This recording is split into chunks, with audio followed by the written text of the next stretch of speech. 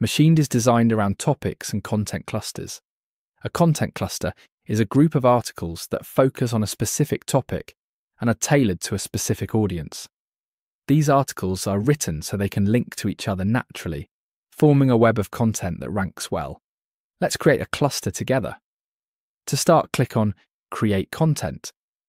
We need to specify a topic, an audience, and a language. When choosing topics, we suggest using a hierarchical definition so the AI clearly understands what we want. For example, if we want to write about leash control for dog walking, we should define it as a hierarchical topic.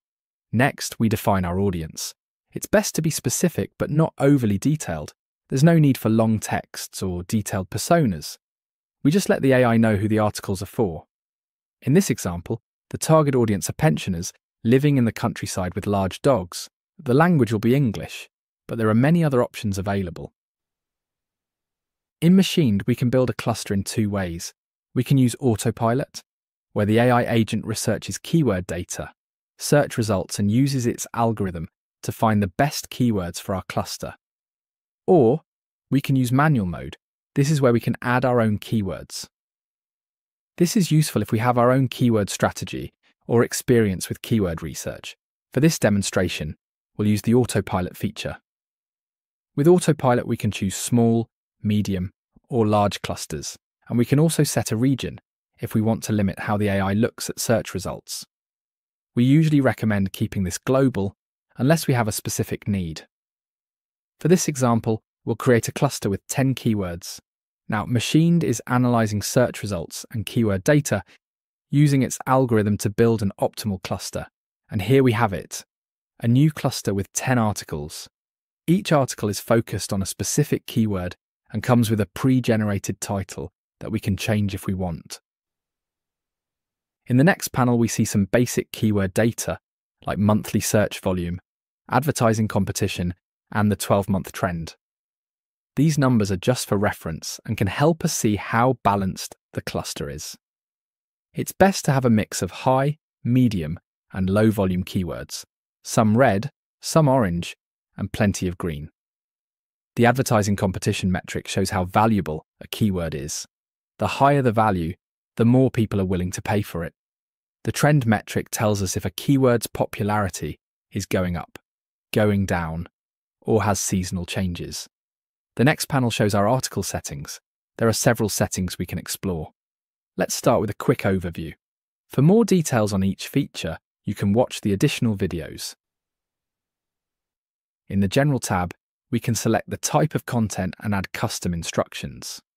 The content types we support include Ultimate Guide, Informational, Listicle, Roundup, Review, Comparison Tutorial, Troubleshooting, and a custom outline option. It's important to pick the right content type for each article for the best results. For example, for our main keyword, we would choose Ultimate Guide and make it very long. For an article about the best leash for dog walking, we would choose a listicle to create a list. This article would be medium length. For each article, we can also add a custom brief. These briefs let us give specific instructions, insights, or opinions on how the content should be written and formatted. Think of it as a prompt. For example, we could ask to include a table in the introduction, mention our company, dogs or woof, or avoid bold words. These are instructions for the AI agent, which it will usually follow. But remember, this is AI, so we may need to try different ways of giving instructions. Next, we have the Author tab. This is where we control the voice, perspective, and tone of the article. We offer several built in voices, from casual to professional. You can try different voices to see which fits best. For casual content, we recommend the blogger voice. For official or government like content, the minimalist, and for anything that needs a professional touch, the professional voice. We can also create a custom voice. To do this, we need to provide up to three samples of content that we've written before, or that matches the style we want. After adding the samples, we click Analyze, and Machined will create a style guide we can save and use later. When creating each article, make sure to use the voice that matches the tone we want.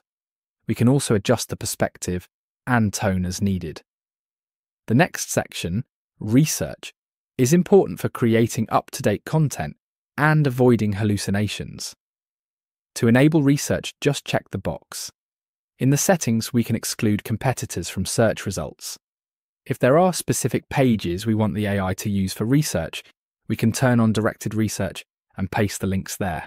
Next, we decide if we want citations in our articles. We can choose inline links, footnotes, or no citations. We can also pick images for our articles. We can choose from stock photo libraries like Pexels and Unsplash or AI generated images using DALL-E 3 or Stability. If we choose AI generated images, we can pick from over 70 styles and 30 different colours to keep our style and colour palette consistent.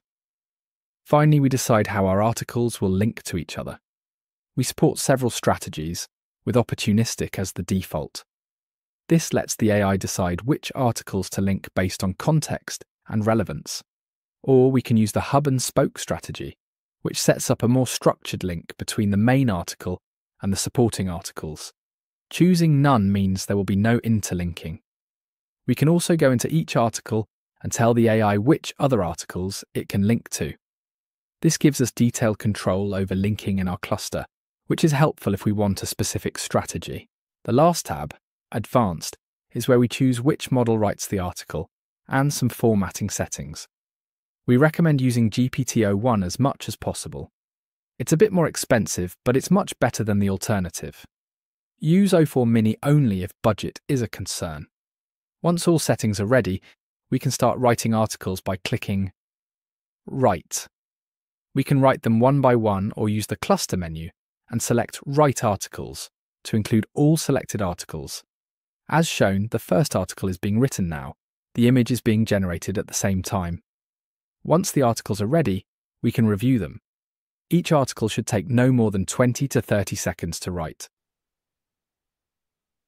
The first article took 34 seconds. By clicking the Edit button, we can open the editor and see the article. At the top, we see an article that's 3,043 words long and takes about 14 minutes to read. The editable content is in the middle. On the side, we see the featured image, generated by stability as we chose. If we want to edit the image, we can click here and pick another option, or generate a new one on the side. We can update the meta description for the article and see the keyword the article is written for. On the Research tab, we can view all the research the AI agent used for this article. These summaries and snippets come from each web page the AI checked. Most of the article is probably informed by some of this information, on the Links tab, we can see all the internal and external links the AI added to the article. For this article, internal linking was not enabled, so there are no links. The content is clearly an ultimate guide that's quite long. The custom instructions we gave, like adding a table in the introduction and mentioning our company, dogs are woof, were followed as expected. If we look at the second article, where internal linking was turned on, and go to the Links tab, we see that three internal links were added to the article. Scrolling down, we find links to articles with keywords like positive reinforcement, leash training, best leash for dog walking, and dog leash training methods. All these articles are in the cluster here. After all the articles are written, we can publish them directly to our website, export as Markdown or HTML, or copy the rich text. To publish, just select Publish from the list choose your connection from the drop down menu, and click Publish. Now we have a complete cluster of content published on our website.